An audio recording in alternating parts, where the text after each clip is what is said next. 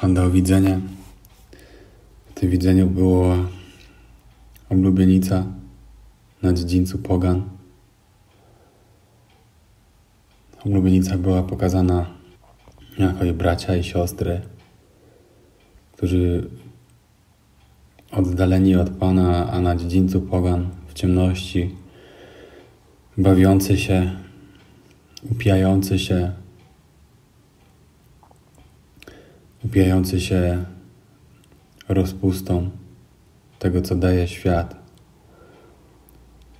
upijający się chciwością, upijający się troskami tego świata, upijający się starym życiem. Odnajdywała ona rozkosz właśnie w tym, co stare, nie to, co nowe.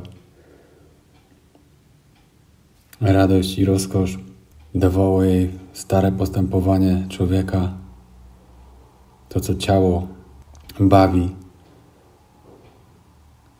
a nie idąca za Duchem Bożym, nie mająca właśnie rozkoszy w tym, żeby poddawać się Duchowi Świętemu, a znajdująca rozkosz w tym, co stare.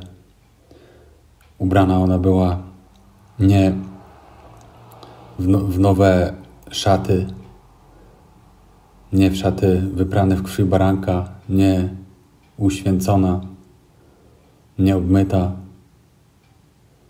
znajdująca rozkosz w kłamstwie, a nie w prawdzie, a prawda tylko, tak, prawda tylko mogła dawać wyzwolenie do tego, żeby oczyszczać się, nie ubrana w szatę sprawiedliwości, ale właśnie upijająca się i rozmiłująca się w rozkoszach nieprawości, idąca za kłamstwem, mająca właśnie w tym upodobanie.